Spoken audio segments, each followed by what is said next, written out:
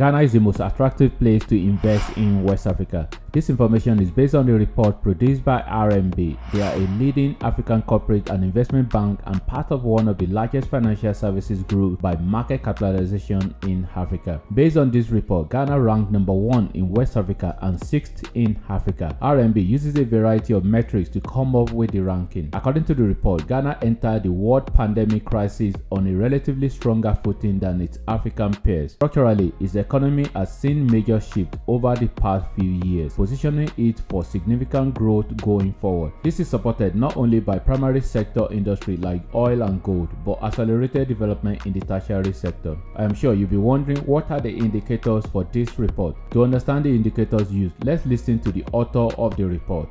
Over the past 10 years, give or take, you know, we've been spending a lot of time speaking to corporates, which are really a lot of them being South African-based entities operating across the continent. You know, we've been speaking to a lot of portfolio investors, trying to figure out what's important to them. And the anchor that we found was that they would, they would want to understand an environment, both from an operating metrics perspective, so how easy it is to do business in this country, um, from everything from setting up a new entity to just generally doing things like tax rebates, as an is, example. Is that a regulatory uh, analysis? Well, yes, it captures regulatory analysis as well. So, so that's one component of it. You know, so from an operating environment, we're looking at policy, we're looking at regulation, we're looking at law, which is very important. We're looking for freedom. You know, how free are the people in that country to be able to operate? And then we're also looking at competitiveness. And this has really been one of the strong anchors for the report. But on the flip side, we've also been talking about just the general economy. Is the economy growing? You know, that being a benchmark. And then secondly, one that we tend to forget is market size. Now remember, Africa is, is an environment where we've got a massive retail base that's still untapped. You know, we speak about the massive youth dividend that could still enter big sectors like manufacturing, digital economy, etc. So numbers do count.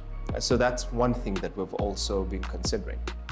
This past year with COVID happening, something else sort of interested us, and that was trying to understand the fiscal conditions in each and every country and whether that could be used as a gauge to understand whether it's attractive.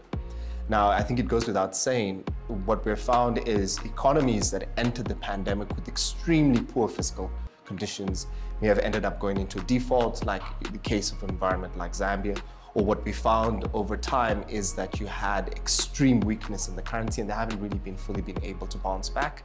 Whereas one that a lot of us tend to comment on is liquidity. So the fiscal conditions in a country are so integral in terms of understanding whether or not someone will find that environment attractive.